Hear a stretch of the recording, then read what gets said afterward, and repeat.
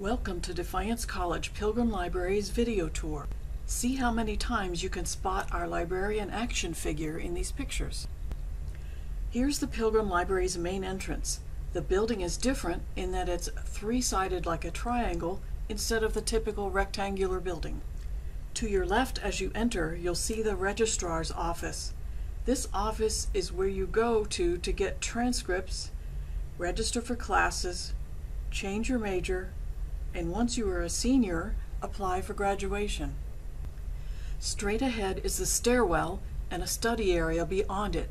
We tried to provide students with lots of different seating options for both individual and group study. Slightly to your right is the main circulation desk. This is your go-to place for information or help while in the library and where you'll check out books and other materials. Some of the materials kept at the desk are books and AV items that professors put on closed or course reserves, like textbooks you may be assigned to read for class. Please bring your Defiance College ID card, like this one, when you need to check materials out or to sign in for structured study, also known as study, study tables. On the far right from the entrance is the library's computer lab, which is sometimes used for library instruction classes but otherwise is open to students during regular library hours. Please wear headphones or earbuds if you use websites in the lab that require sound.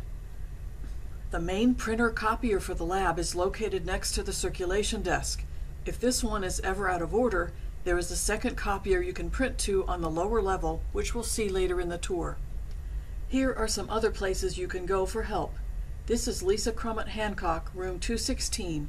She is the Assistant Dean of Student Success, which includes Registrar, Director of Library Services, and Director of Academic Support Services.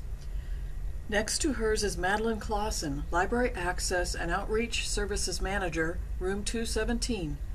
Talk to Maddie if you have a problem with an overdue book or a reserve item or want a job in the library. Just past the registrar's area, coming in from the front door on your left, are the main restrooms and the building's only drinking fountain. Just beyond the restrooms is the Computer Services Office, room 206. Please see the computer personnel if you have problems with Wi-Fi or your campus network password.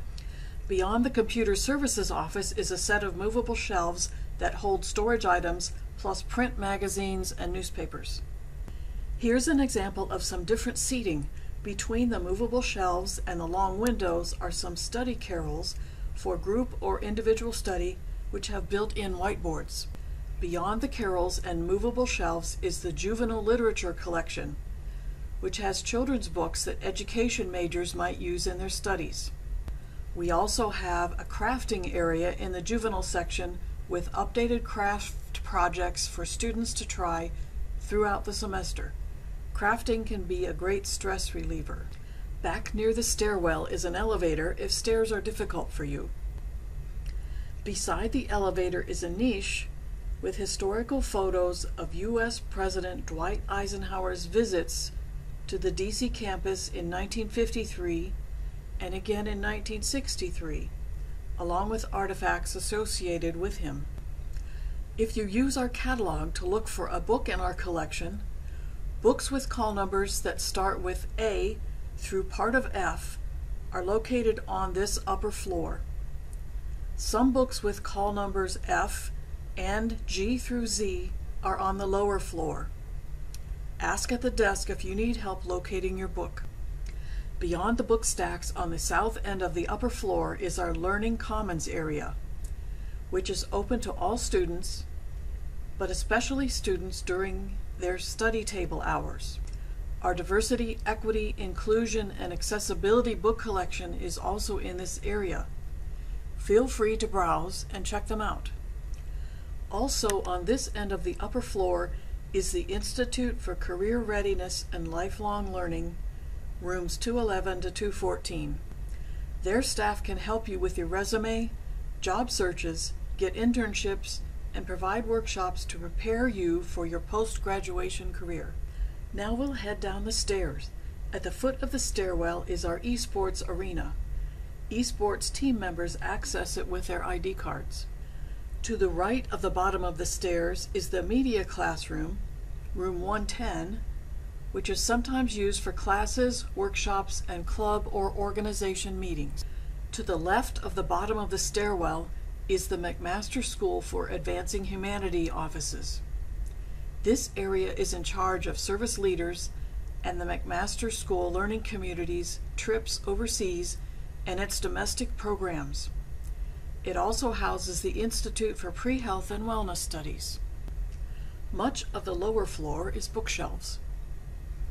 At the south end of the lower floor, past the shelves, is the Academic Support Center, headed by Jordan Gehring in room 123. This is where SI supplemental instruction sessions are held by the SI leaders for some of our more difficult courses. In addition, a small STEM computer lab is located in the far corner. In this area is the studio used by tutors and writing consultants. This is where you would come for tutoring help in math, science, and other subjects. You can sign up for a tutor or writing consultant via the library's website. Towards the opposite end of the lower floor is Barb Sedlock's office, room 112. She is lead librarian and coordinator of metadata and archives. She catalogs new books, does non-OhioLINK interlibrary loan, offers library instruction classes, and coordinates DC's archives. If you need help or directions while on the lower floor, please feel free to pop in and ask her. Room 115 is Abby Baker's office. She is our library assistant who supervises student workers in the evenings and on Sundays and provides research help. There is a second copier printer outside Barb and Abby's offices that users of the upstairs computer lab can print to if the printer upstairs happens to be out of order. Room 118 is one of two study rooms that are set up as collaboration rooms with technology that lets up to four devices talk to each other on the big screen. It is available first come, first served, or can be reserved via the space reservation section of the library's website. Also in this area is an additional restroom. These are some of the 90 oil paintings of historical Ohio courthouses that were created by a former DC languages professor, Herman Wiebe, which are displayed throughout the library. If you are from Ohio, can you find your county's courthouse painting? They are displayed alphabetically, starting upstairs in the computer lab. The Ohio Supreme Court created a video about these paintings and makes it available on their website. More information and resources are available in the library's website, library.defiance.edu, including tutorials on how to do research using the library's databases. Thanks for viewing our video tour of the Pilgrim Library. How many times did you spot our librarian action figure?